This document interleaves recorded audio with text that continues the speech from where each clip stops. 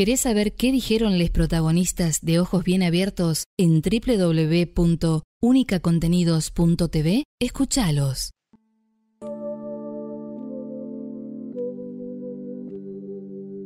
Marco, el mensaje desde la Secretaría de Salud del Partido de Patagones, desde todos los organismos, desde la gente, además por la gente que está en la trinchera, que, en este caso son eh, los prestadores de servicio de la salud, es no relajarnos.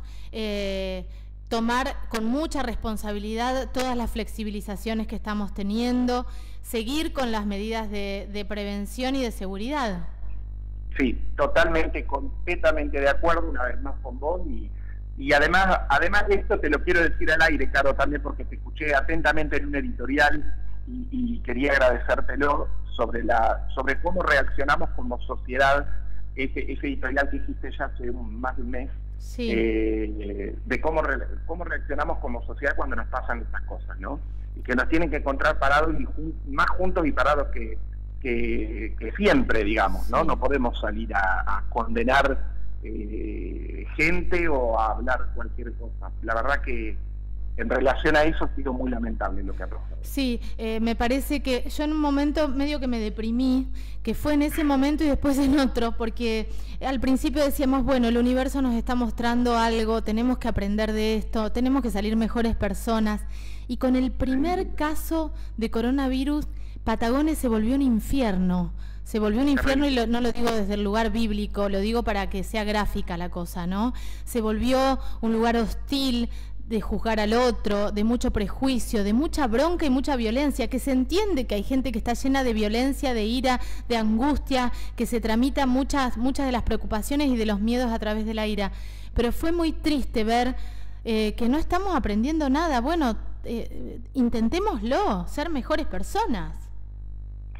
Tal vez sea la enseñanza que nos deje esto del coronavirus al final del camino, no lo sé, y estamos hablando cósmicamente hablando, digamos, por decirlo de alguna manera, pero la verdad que sepa la sociedad que nosotros como comunidad médica y ustedes como comunidad en general estamos todos viviendo lo mismo. ¿no? Nosotros volvemos a casa, tenemos hijos, tenemos familia, tenemos, tenemos adultos mayores eh, eh, que cuidar, los papás, los abuelos digo, estamos todos en la misma, no es que no estamos juntos y también estamos todos conociendo el desarrollo de un virus nuevo que también es nuevo para la, para la sociedad científica.